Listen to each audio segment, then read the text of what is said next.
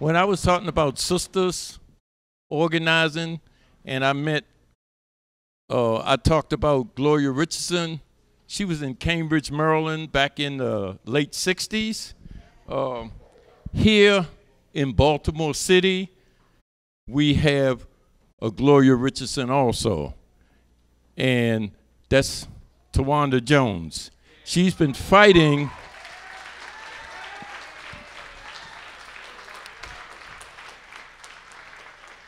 She's been fighting for her brother's justice, Tyrone West, for four years. Having missed the beat, having slowed down, her life's been threatened, her job's been threatened, and she continues to fight every week. West Wednesdays happen somewhere here in Baltimore. So, out of the honor of that struggle, I'm going to give her the opportunity to ask the first question. Tawanda? Um, can you... Can y'all Oh, hear me? Um, first of all, I want to give thanks and honor for just being here, and I'm most gracious for the words that you just blessed me with just now, and all I keep on hearing. So I really don't have a question. I just want to let you know I'm keep on going. I've been moving ever since they murdered my brother on July the 18th. For now, for 245 weeks, 1,715 days, fighting nonstop for accountability. Nonstop. We just left West Wednesday, which was held at City Hall, and we took it to where the mayor and where the state's attorney and where all the jokes and the folks were. It was our obligation, it's our duty to fight for our freedom. It is our duty to win. We have nothing to lose but our chains. So I'm just going to keep on fighting I'm going to keep it moving. I'm never going to stop. And I feel like there is no justice. It's just us holding folks accountable. And just like Dr. King said, an injustice anywhere is an injustice everywhere. And right now, it's a worldwide thing, and it just needs to stop. So I'm never going to stop until killer cops are in cell blocks. I respect officers like your son, like you worry about your child coming home to you. A good officer. That's why I call out killer cops. I don't put them all in one box because they're not. But at the same time, we see a bunch of snakes coming down the street. I'm not going to stand there and watch and figure out who's poisonous and which one's not. I'm going to keep it moving. So thank y'all. We more than hashtags and body bags. We more than being six feet in the dirt and pictures and buttons on t-shirt. Our lives matter. Thank you so much.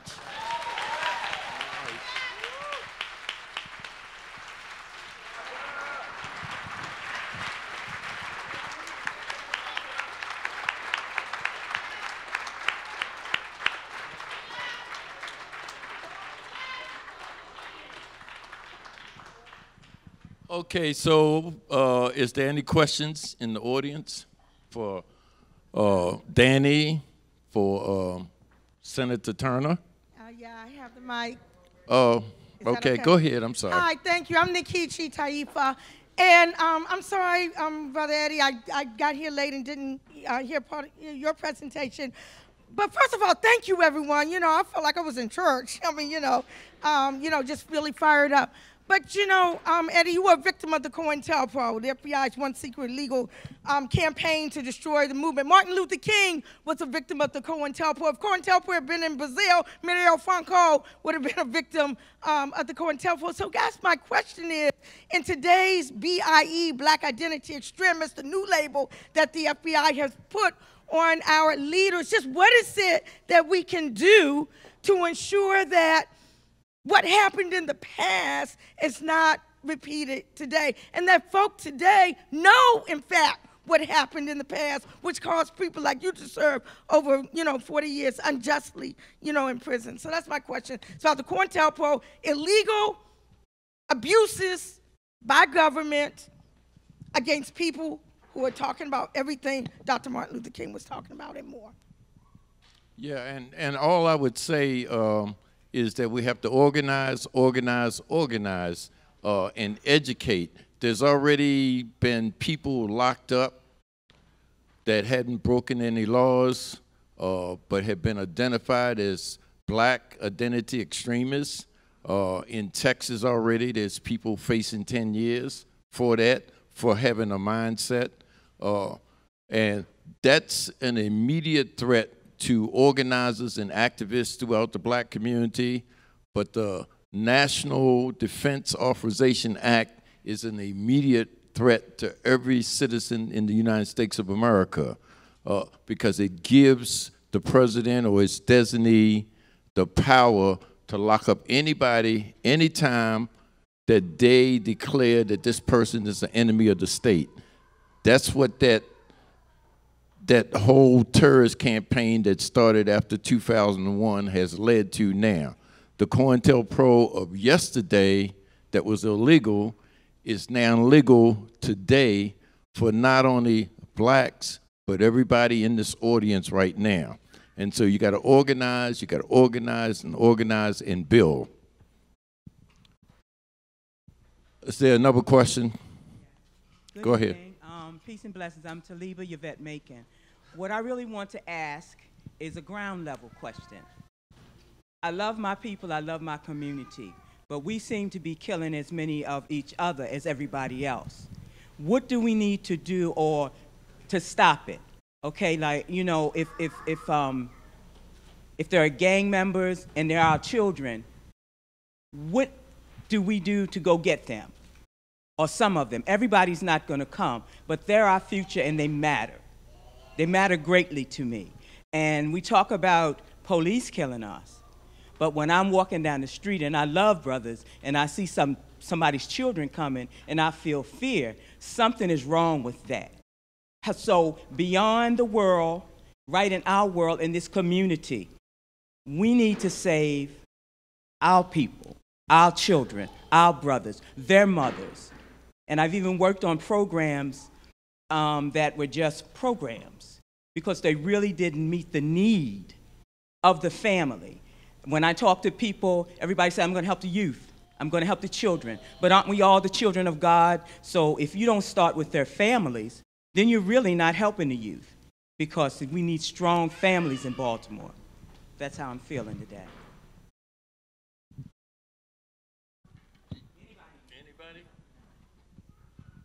You know, I, as, as I listened to the question, um, I, I also thought about uh, the extraordinary opportunities that happen in communities every day.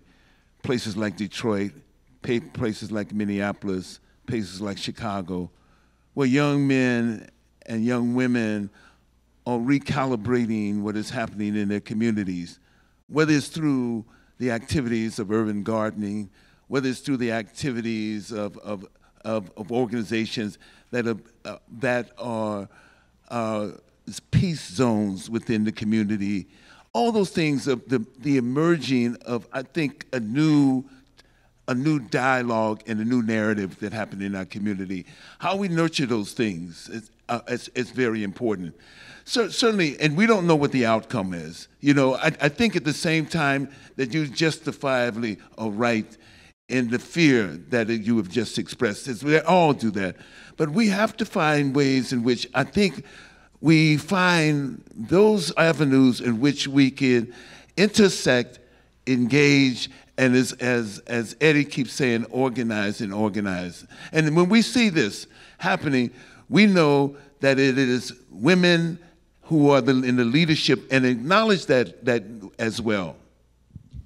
One of the things that I do, sister, and I've been doing this now for about three years, is that every morning I go to the corner store to get me some coffee. It's really not about that cup of coffee, but that's where the youngins are hanging at, right? And so, and so I first start going down there and I speak love into them, and I speak, and I speak peace. How y'all doing today? You know what y'all got up for today? Is everything all right? How you feel? And then at some point they begin to trust me, and then I start talking about things that matter to them. Well, you know, uh, I just heard that you could get your record expunged. Oh, I can. Where can I do it? I'm gonna bring you some information tomorrow. You meet me up here at the same time. And I start speaking love and information to them. And now they call me Ma, and they listen to me. And then I bring up, I bring up things that I read about that's going on in the community, and I ask them, now, now how would you deal with that? Would you, you know, we can't all take out our pistol, even though we feel like it, you know, but we can't do that. How, how we gonna handle this? And then I, then I tell them the things that as wisdom that I gathered as being my 60 some years old when I wasn't always, I didn't have wisdom because I grew up in the street. So bottom line is, I, I, I was afraid at first. I'm not going to lie to you. But God told me to get up in the morning because they be down there at 7 or 7.30 and stay down there until like you going to get your cup of coffee and speak to speak love and speak safety over to these youngsters. And that's the way I do it. And now I don't have no fear. I don't have no fear. And and I and I watch them and I tell them stuff like, man, you know, you don't grow since last summer. They, that mean they, I'm watching. I say, you must have grown about five inches. And that they know I'm showing love to them. So we can't fear our children. I know, I understand what you're saying, but you have to just take God with you and you have to say one on one. One, talk to one. Then he said, what's she talking to that lady about? And then he'll come listen because he want to know. Then another one will come listen because they want to know. Next thing you know, they can't wait till I get down there in the morning to open the door for me. That's mom. So that's the way you do it.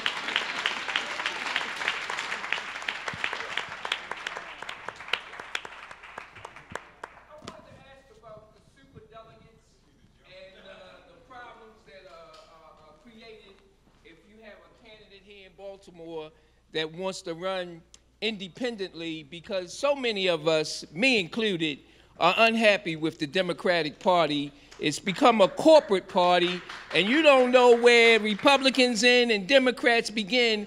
But they ha- and you talking about um, collusion. I think when you have super delegates, that's collusion, and they're not getting uh, proper representation. So I ask this to anybody on the panel: How can we ease the uh, the two-party system, and how can we get rid of super delegates within the Democrat Party? Well, thank you so much for that question. Um, first of all, there was a Unity Reform Commission that was formed from the 2016 campaign, an agreement between Senator Sanders and Secretary Clinton's two campaigns. Uh, we met for almost a year. I was on that Unity Reform Commission, and certainly the Bernie Eight, as we're called, because there were eight of us that were appointed by Senator Sanders. Uh, we were nowhere near the majority. We were outnumbered, but we did come to some consensus now, written within that res resolution was the automatic reduction of superdelegates by about 60%, even though the Bernie 8 wanted all of the superdelegates gone, just all of them, because it is unfair to have superdelegates put their bodies and thumbs on the scale before the nominee is even, that happened in 2016. And it don't matter who you were for, fairness is fairness, and it, it is an unfair system, and I'm here to tell you that the system is rigged. It is real. Not just that system, but the system is rigged. But one of the things that can be done, the Democratic Party has, well, when they have their summer meeting, they're going to be taking up the recommendations of the Unity Reform Commission. And people who care about whether or not this party transforms itself, should get engaged. And so I want to invite you to go to ourrevolution.com. You can read the Unity Reform Commission's report, and hopefully we can get them to, to do away with all of the super delegates, every single one of them moving forward. But you have an opportunity, send an email or call Chairman Perez and, and make it known what kind of party that you want to see. In terms of the two party system, they're corporations. I want folks to know these are private entities. I hope we understand this. They get to make the rules that all of us have to play by. So it is hard in this country. In other countries, they have more than two parties, but in this country, we have two parties. So we have a decision to make. There will be some of us who will work within that party to try to change it, and there are going to be some folks who are going to work outside to bring the pressure on the inside. We need both of those things. But if progressive minded folks, and that doesn't mean that we always have to agree, but progressive minded folks who want to work to not just transform that party, but to take over that party. So when folks say to, to me, somebody like me, if you don't like it, leave, I'm not leaving, you leave. you leave. You know, that's no different than some, you know, racist folks telling black folks to leave the country. You know, and to have some Democrats who are the corporatist Democrats say the progressive Democrats leave the party is a slap in the face. Now, we gotta, we gotta either straighten out this party, and if it can't be straightened out, then we gotta take some other course of action. But what we're not gonna do is continue business as usual. So please, sisters and brothers, write Chairman Perez, look up and find out who is your representative on the DNC because we will be voting in the fall, summer to fall, about whether or not those super delegates should still exist. If you put some pressure on them, that kind of pressure that Reverend Dr. Luther King was talking about, put the pressure on them, then we will see the change. And if they're unwilling to change or move, then maybe we need to change and move. Okay. Got got time got time for one last question.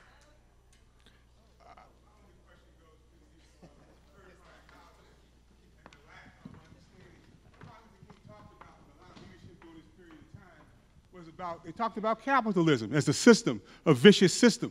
Leadership in this country, black leadership, I'm sorry, black leadership doesn't speak to that issue and, and everything that's vicious in terms of poverty, criminalization, you know, black folks being messed over, you know, and people of color. It's capitalism. Let's be clear about that. So when you talk about a third party, that third party has to represent something different. And if you're not representing something different, you can't buy into the same old stuff. The Democratic Party has been there. You talked about it yourself.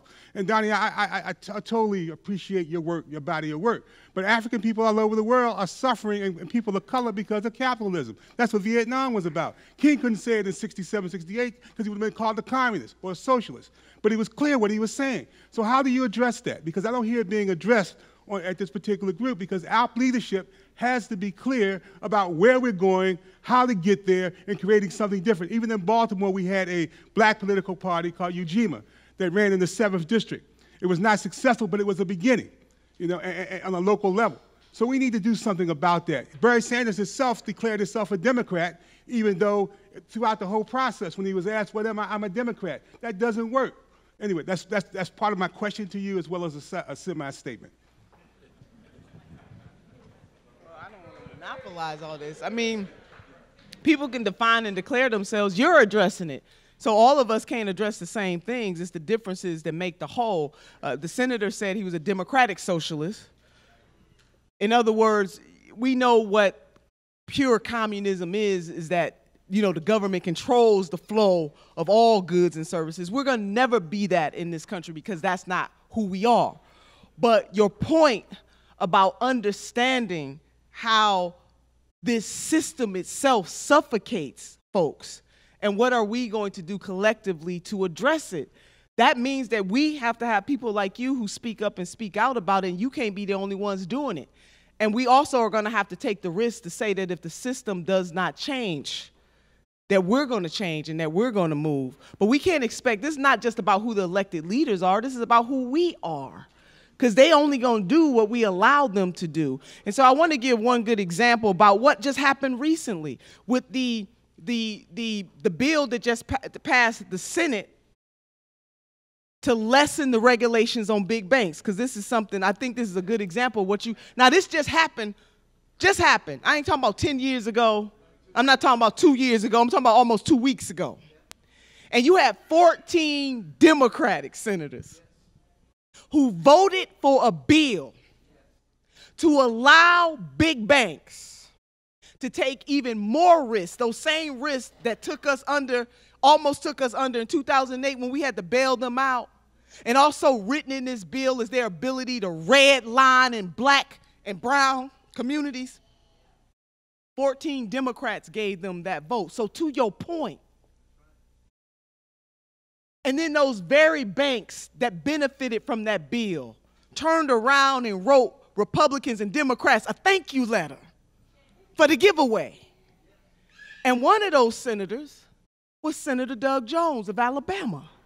Now, the reason why I bring him up in particular is because the last time I heard that 98% of black women, 93% of black men put him over the top in Alabama, and he didn't hesitate to vote for a bill that he knew would harm black communities, poor communities.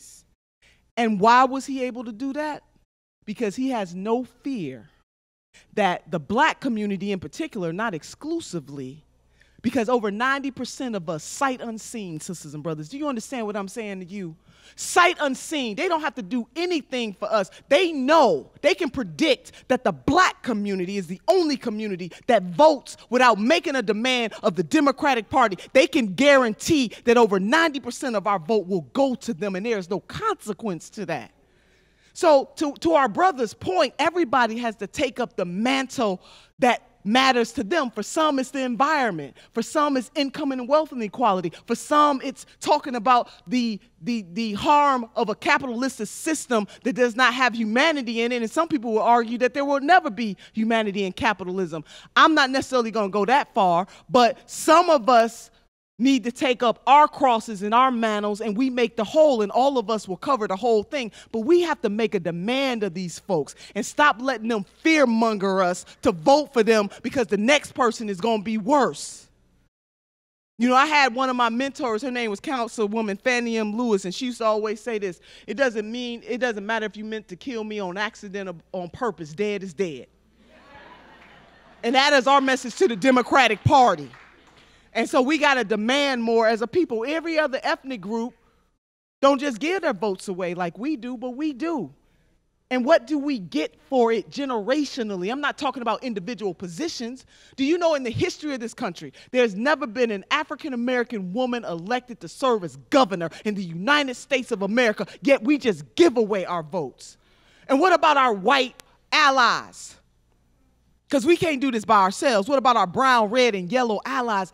If people of good consciousness, regardless of their ethnicity, unite, there is nothing that we cannot do until all of us are obligated to call out injustices.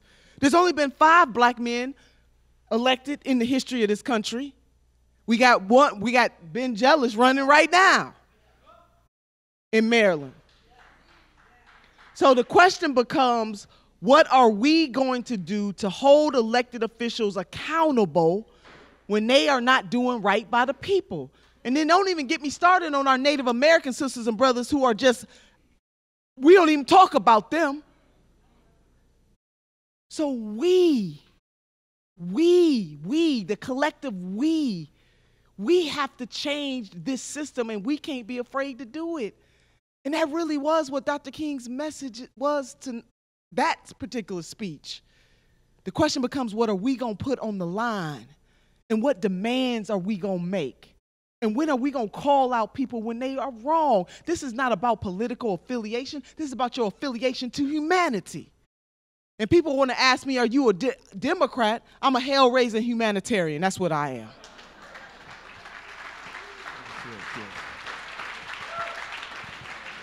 I think I mean, as we take this moment 50 years ago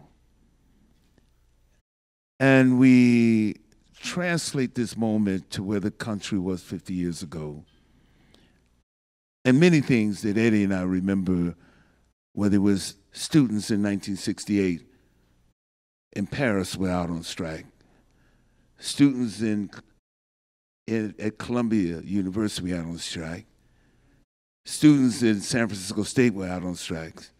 We had the massacre of students in Mexico City during the Olympics. Let's understand that, clear, clearly that period of time represented a period of time where there, there was a, a vicious effort, effort to erase a generation of thinkers who had other ideas about the possibility of what kind of system we can build. The issue around systems of what are the relationships?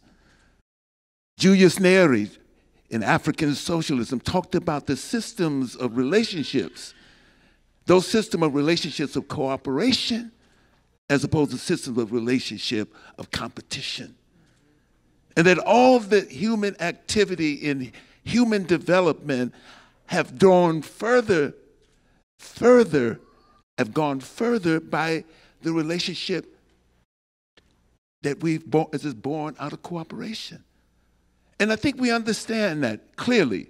We understand that as part of our internal orientation the moment we come in. It becomes cooperation in that sense. From that sense, for the day that we've come on this planet, it takes cooperation to get you to walk and talk. It takes cooperation to have you grow from childhood, from to adolescence, to adulthood. It takes cooperation. What are the system of cooperation that we're going to develop beyond humanity, or across humanity, rather? And I think the question becomes whether it looks something like we don't believe in, something that we've been told not to believe in, whether it's socialism, uh, communism.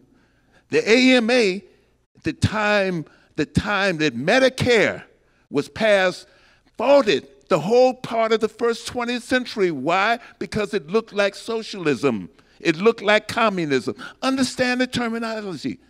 All the reasons why this country does not have a universal health care plan like every other modern country in the planet is because it looks like communism or it looks like socialism. Let's throw away the terms and talk about what are the relationships that evolve. And those relationships that have evolved have come, that we exist in now, it's come from, as Dr. Dr. James Lawson said, Reverend James Lawson said just the other day, plantation capitalism. Understand that term plantation capitalism. What do we see now? The wealth, the prosperity, everything that's happening. King realized that. He realized it was based upon plantation capitalism that marginalized, that disenfranchised those people who were valuable in building the wealth of this country, but also marginalized poor whites as well. Understand that.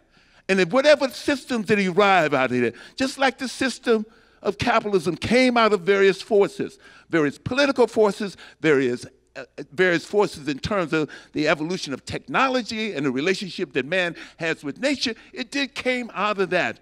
What are the systems in our new configuration of who we need to be and what we need to do in being the human beings? What are the systems that we evolve? We may want to call it something else.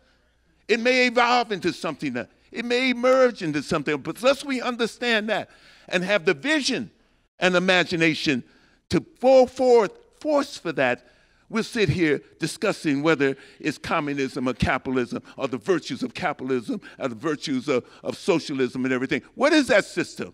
And how does that system, in its dynamics, in its, in its own internal contradictions, force us or push us to grow and evolve and change and continuing and understanding those dialectics are changing generationally. Those dialectics are always changing. Those contradictions are always changing. They're never the same. But we have to make a commitment to that transformation where it's perpetual, sustainable activism that will create the systems that we need, the systems that we will embrace as human beings and elevate our humanity and build what this young, this, this young preacher was talking about. He's young, 39 years old. This young preacher about, was talking about building that beloved community. What does that beloved community look like? How does it feel? How does it talk about how we share? How does it talk about well, how we live in the city? James Lee, Lee Boggs, married to Grace Boggs, said, We're going to be an organizer out of Alabama, auto workers, radical organizers out of talking about we're going to live in cities. If we're going to live in cities, as we recognize over the 20th century that the majority of human beings live in cities, what does those cities look like? What are the relationships? How do we now take those relationships, those past relationships, have just alienated from us from the land, have alienated us from each other? How do we take those systems now those systems, new systems that we evolve into, we grow into, we fight for, and we, we, say, keep going for, keep going for. How do we take those systems that, tra- that make us and transform our humanity and relationship to each other, relationship to, to ourselves, relationship to the rest of the planet, even the Mother Earth? Those are the systems. When the native people, First Nation people, talked about what does, this, what does this earth look like seven generations from now? They weren't talking about communism or socialism. All they knew that there was a relationship that they had with the land. When native people in the 11th century Native people in the 11th century called a, a, a, a, conference in the Americas, right here in 11th century, long before Columbus, and talked about how to, what are the relationships are we going to have between us? What are the tribal relationships? How are we going to protect and, and nurture the young? I mean, there were conflicts within that context. Yes, there were conflicts, but they were finding ways of resolving those conflicts. It was based upon cooperation, cooperation with each other, cooperation with this incredible, fragile, beautiful planet that we live on, but it moved towards something higher and keep reaching for something higher. So those are the ideas that we have to say. This is the ideas that King left us with. This is what he left us with. This incredible possibility, the possibility not the dream, the possibility of who we can be. That's what it is. The possibility of what we can do. He was, he was very clear about who we are and whatever and what we can, what we have the what we can do. But he knew that we can go further than that as human beings. And that's where we're at right now. And we have to take all of this, take every single everything that my sister here has talked about, whether it's universal health care, whether it's, whether it's the rights of women and the struggle for women, whether it's the, the, the, uh, the idea of being full citizens in, this, in a democracy, in a participatory, participatory democracy, not a democracy that is governed by simply who we elected, but we hold politicians accountable and we down there and we everyday activism, everyday fighting for the, that, that, that voice, our voice and everything. What does it take to create that? and dissemble that. And who knows what may happen if we do that? Who may know what would happen? Every one of us could be in jail because we try to do that. because we know what is happening to the of participatory democracies in other places in the world where people really become active, really become citizens, and understand the, the role that they play as ordinary people, ordinary citizens. Where do we take that on? And where it becomes sustainable. What is, in Grace Lee Boggs' last, last book, the next revolution is evolution.